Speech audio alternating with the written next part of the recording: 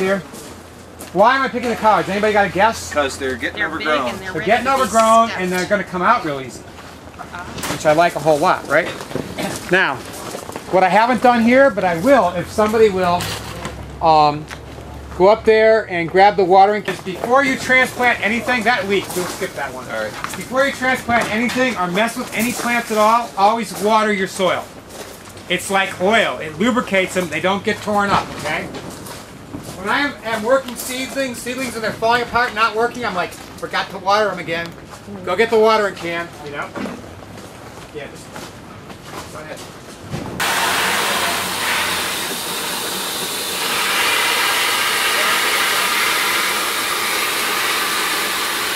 About half a can. That's fine. It's not gonna take much. But don't be afraid to soak these guys good. Just lay it on them.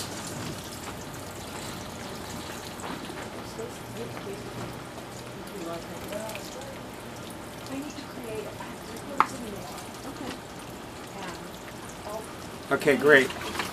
All right. So now we're going to talk the fact that there are many ways to get these out of the cells, okay?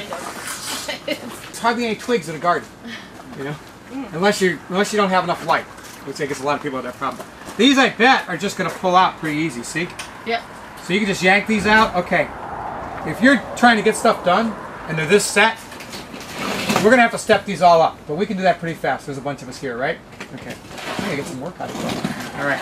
This is my preferred way to do it. And people always wince when I do it, but it works awful well.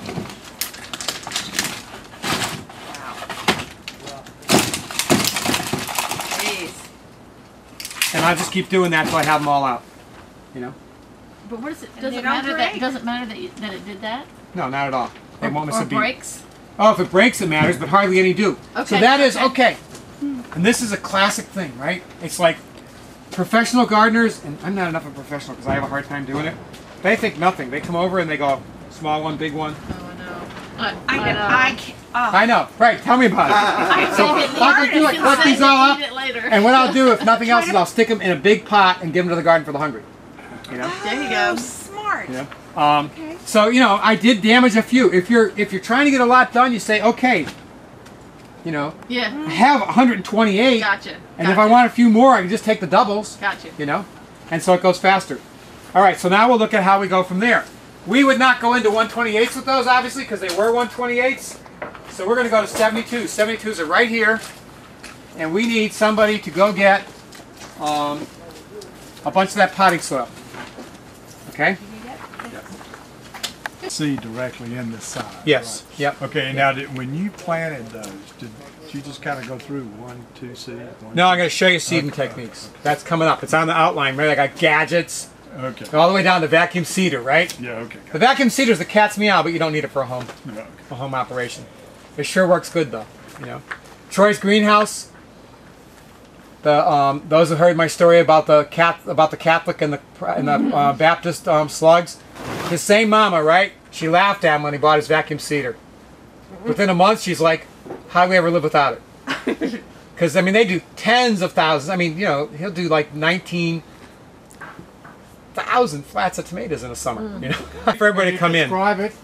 and then you take your seeds, right, and you roll them around on the tray, and then you hook, you have a vacuum, Oh, just see. a regular shop vacuum, right? Yeah. And you put it, plug it in, set that tray down, and it sucks a seed into every hole.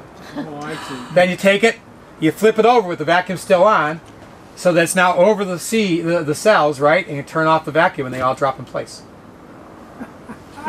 That's pretty darn brilliant, isn't it? Yeah. So how big is the hole? It depends on the seed. They I have see. all different size cells. That's not Okay. one, is it? That's what that is. I got Oh, that's, That's what it, that right? is. So you put the seeds on there, the vacuum st- sucks it in down to the holes, right? You leave the vacuum on. You come over here. This looks like the 128 right here. You pop it over, you turn off the vacuum. Bingo. Bink. They drop in place. Unbelievable. All right, now then. Pretty darn. And people, a handy person can make one. Even if you don't really need it, you can make mhm. one. You know? All right, but do you shake the o- loops? If do you you get need rid of the seeds when the vacuum is, while the vacuum holds the seed on the hole? The get vacuum's holding the seed on the hole. Come and you put it it over your over your 128. Pretend that's a 128, Well, right? What about the rest of the loose ones that are around in there? Oh, you, you take them off first. I'm sorry. Yes, right. Okay. If- While the vacuum's on, Yeah. you dump your excess seed off. Okay, all right. You know, you leave the vacuum on, right? Yeah, yeah. And then you flip it over and turn the vacuum off, and bang, you got, got it. it. Okay. Right. It's I really knew elegant. I knew you could do it. We didn't really need. At, I, we taught this at the um, probably the 2006 Sustainable Ag Conference, and we really didn't have many people in the classroom that were going to build it. But everybody's kind of curious, like you are. And when we actually did it, we got an applause because Greta made it. People just thought it was so cool, you know. Yeah. But I mean, really, I use them only in the in the, the main rush of the season, like our big push. Yeah. Now that it's down here, I'll use it, you know. Yeah. But we don't even grow enough. I mean, No, it's really for acres. The rest of us don't buy enough seeds to even do that. Right, can't even cover the thing with it, right? So yeah. um, okay, so that's one way to seed. We're going to talk about other ways to seed, but first we're going to show stepping up because now that we've done this, we have to step up. Where's the soil? Behind you, to your right. Right. This soil is barely damp enough, by the way. I should have made it a little wetter. I watered it while you were uh, doing it, but no, we're okay. It'll work, you know. Um, and so then, Ellen, would you hand me hand me an empty flat? Trying to show techniques here. And can somebody find a home for these? Get them out of the way. Thank you. All right. This is another size I really, I mean, I'd say that between 128s, 288s, 72s, and 36s, the four packs, that is 95% of all sizes I use in starting plants, you know. Um, this is a really nice size. I rarely need to go over that unless I'm doing something like tomatoes, peppers, or squash, which these are all way too small for. By the time they're going to get in the ground, they're going to be really undernourished if they're in this size, you know. But for most every other vegetable, this size is perfectly fine. You should get it out in the ground before you let it go any further, you know. Once in a while, like right there, those are the um, those nine packs. Those are Tina James Magic Evening Primrose, and they were tiny. And since it's not a really critical plant, I'm kind of like got those growing for when we find places to put them. They might sit in there in those packs for a long time, so that's why I made them a little bigger, you know, because we can transplant them anytime, but they may well sit there till Is May this or the something. Evening primrose that you would get evening primrose oil from. You could get the oil from it. What's special about it is that particular primrose, at dusk, you can watch the flowers. They pop open. They, they actually have motion to them. I've seen people jump up and go, oh, they're alive. And it's like, yeah, well, they're all alive. These are animated. That's what you like about them, you know? um, they're very special, and everybody should have them. I don't have enough to give them away this year, but you come through this fall, I'll send you home with seedlings or seed. Didn't I hear you say you were going to be doing uh, courses here at least once a month? I am indeed. Positively. Okay, so best practice would be to have a scoop, right? Put a whole scoopful on top. Spread it around, right? Do it on a table so whatever you spill is not going to go to waste, right? You don't want to be taking your time filling one at a time, right? Flop it on. Spread. Don't spill it on the ground like I did, though. I'd be a little bit too dramatic with being fast, right? And eventually you'll figure out what size scoop. It'll be one motion, right? Scoop on. Spread it around. What's wrong with this picture? I set this up for doing seeds. Yeah, I was That's just too much. Say, how are you gonna have? That's too much. That's what's wrong with that picture. So, can I have another um, Sure. thing? We will use that for seeds. Next demo. And so it's pretty easy. You just do about half as much. You know, the size of these, you can look at it and say, okay, if I do it about half full, when I firm that down, it'll work fine. You know.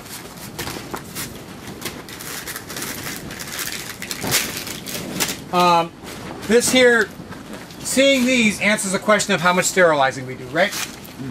I mean, and indeed, I love her. She's a good friend. Um, I'm not going to mention her name right now because there might be judgments as to her call on that. But she just always says, Pat, why would you do that? I always buy new ones every year. And she just was, you know, she got sold on that. Got to keep things clean. Don't want any problems. And to her, it's fair to throw away all this plastic. You know, what I love about the nonprofit that I work with is we have a conventional grower. I looked at this and said, it's, you know, by the time you do the labor of saving those all, we had to sterilize them now. There's just no way. It's not cost effective to throw those away. And I said, well, we'll, we'll put that to the nonprofit. Should we save these or throw them away? Should we save money or waste materials? And they said, save money.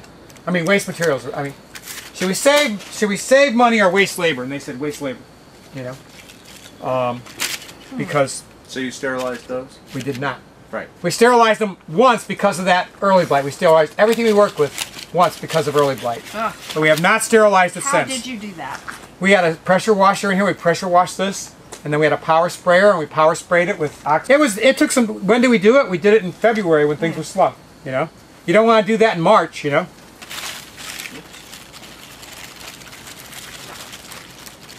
So I can't just flop it down because it'll fill them up too much. But I just can do this, and they fill up pretty quick. And the ones that overfill, that's where I stick whatever I broke. You know, whatever's uh not a full um, cell pack. And then they come along, I just pop them in, come back, throw some soil behind, and always, always, always firm them in. You know? So the fact that you're catching a, a leaf or two down in there, Oh, actually, the, the uh, best practice is to take those dead cotyledons off okay. and to bury below it, you know? Um, and so, what I should have done was take those off before I flipped them. Okay. That'd be the fastest, you know? They come off pretty darn easy. They're, they're a point for potential rot. I've actually never seen it, but I've had people say best practice is to take it off. And so I still do. When You you're know. pulling the plants out, are you just pinching them off with your thumbnail or are you pulling them out? Pulling the, pulling the, pulling the leaves off. Yeah, well, whatever. All I'm doing is pulling leaves off and I'm, I'm Oh, pinching them off. That's all, you know? If- If you were thinning them, If I was thinning them, how, okay, my preferred way to thin, because I like to save them, I see. right? Which, I mean, if Lisa's filming this and then a professional sees it, they'll just laugh at me, right? Because it's just not professional to do that, right? So I'm not much of a professional. I don't know what to say, right? But what I do is I hold the plant in like this with my finger, because I, I want this one to do best. If I try and divide it, Yeah. I'm going to be damaging one, Yeah, but these guys I know will live, right? I hold that in and I just do a quick pull. okay. So I've done no damage to the root ball. There's a little bit of root on there. Yeah. You know that if I stick a bunch of these in some soil, Yeah. they're going to come on. I'll pass them on to somebody else. They'll step them up. They'll be happy they had them. Yeah, You know. sure. Um, but it's not. You know, it's nothing that a pro would do. They, they snip them because they don't want to do any damage to the Yeah. root of either uh, of the one that's living Yep. Exactly. or the one that they choose Yep. to live. But the way I do it, actually, there's precious little damage. You know, by holding it, the one that I want in, and doing a sharp pull, there's very little damage. Um, really, what I'm not doing here, which should be done, is I should be taking these down to two, to one per cell. You know, He said he brought them for you guys to look at, is what he said. oh, you brought these? Rocco said he brought seeds in here. Yeah, I get Yeah, a bunch of them. He said. Okay, well, maybe that's how they got in here. Then. Yeah, That'd be he fine. brought 'em Okay, he brought the them in. Cool. Well, then they should have been in here. It's really it was only hot in here for a little while. It's probably not a big deal. Cleaning them off and putting them away. If you really like those, you can have one. If you want the seed, you can have the seed. There's actually ones on the on the fence that we're, we won't even think twice about your taking. Oh, okay. Go take them. You know, you have to bleach them because they're moldy by now. Okay. Or you're using hydrogen peroxide. You know, but um, you can have all the seed you want. We have no shortage of seed. Okay. I would love to take one. Thank you. Yeah, absolutely, no problem. What you could see, you know, I happen to have a forty-year-old exercise bike. I don't see where near much by water. But you could take one of those exercise bikes to make the thing that run the alternator from one of the Chevy, make enough electricity to run your computer if all the other electricity. Okay, and we're gonna stop there as soon as you got them stepped up. Got. Yeah. Yeah, Well, just if a you few still more. can, We don't need to do you any more. Chevrolet alternator about fifteen dollars. But we will come back. So you put those in, but then you come back and you. Ago, so. And I tend not to push them down until after I've added the soil, so that you're not. Uh-huh. But actually, it's fine either way. It works either way. Anyway, I take it back. over. Something about them leaning sideways in here that Uh huh. I want them to be standing up. Yep. That's pretty funny though. I mean, my favorite version of this is I teach people to take tomatoes when they're when they're really long and make a trench and lay them on their He side does that. and have the ends stick Yep, out. yep. And people go, but like now they're slant the wrong way. I said, It's look so tomorrow. teeny. You know? Yeah. I don't know. They won't take long before they're straightened up. Boy, they know where their food is. You know. They find it really fast. Yeah, do it. Yeah, sure. Yeah, yeah, yeah, yeah, yeah. We're not about money. You could put a little more soil. We're about giving that guy a chance to become the investigative journalist of plants. Almost buried it. I'll stop back by in a few weeks and see how he's doing. Yeah, you do that. Check it. You want to name it? Bob. Fred, Or Cinderella? I don't want to you, put you we could there take one of these? I'd like to take that one. That, that one right there. You gonna shower? You gonna scratch my back? a little? Yeah. Okay, Oh, let's. Oh, we're ready for the next process. Cold down here. I tried to find the gadgets for seeding, but you know, I, I value them so little that I can't even remember where I put them. And you've probably Okay. seen them, right? Little trowel. It's got some ridges. Sure, sure. You vibrate them out. Okay, and then there's a little round circle that's got some ridges, and you vibrate them out, right? I find the that one they're that you push the little button on.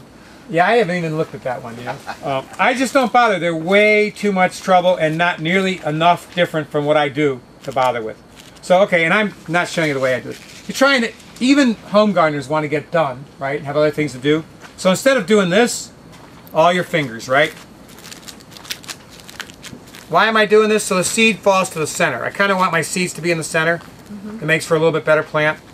I really don't sweat this. If it's not perfect, I don't care. You know, they'll figure it out. This is a technique I really try and teach. And people go, well, the, the seed might stick on the glue, so you should do it the other way. The problem with doing it this way Can't is you it. can't see what you're doing. You know. So people have done this. You know how to do it. Does anybody doesn't know how to do it? Should I teach this? Yeah. Yeah, I want to Okay, all right. The key thing is, right, and this is actually, um, brassicas are actually harder than some things because they want to roll. But you want to get a thin line, right? See how that's a thin line? Can you get the, can you film that?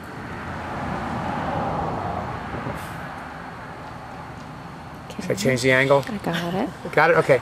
You want a thin line. See how it's a thin yeah. line? What you don't want is this. Because now, when you tap it, right? Now I don't have a thin line. I got a whole bunch. I tap it, and what happens? Well, one came out, but that's just to make me a liar. Usually, what happens if you have a whole bunch is a whole bunch fall out. Mm-hmm. Whereas if you have a thin line, when you tap it, one comes out, or two at the most. Okay? Like single file soldier. Yeah, right. You get a crease, you crease the bottom, right? And this does not work with huge seed packs. Don't even hmm. try it. Just save a few small ones and transfer them to a regular standard size seed pack. Nice crease, right? Tap them out to a thin line. And then just come along. I just don't find any gadget that does it faster than that. Hmm. Just one or two in each one, huh? I know that the seed, these seeds are good, so I'm doing one. I just oh. did two by mistake. I'm not going to worry about it, you know? Some of the seeds are so. That did three. So I go- I- yeah, the teeny seeds, if they're really teeny, if they're like foxglove or something, Yeah. the standard techniques is to mix it with cornmeal Oh, okay. and then spread the cornmeal lightly over your thing, Okay. and then you'll get a much How better about distribution. lettuce and like a, Lettuce. well, a 248 or whatever that is? First off, does anybody want to try this? No hands-on experience. Want it? Try it. Just hold it and lightly tap it. Oh, this is a big, nice big seed. Yep, that's an easy one. Yep.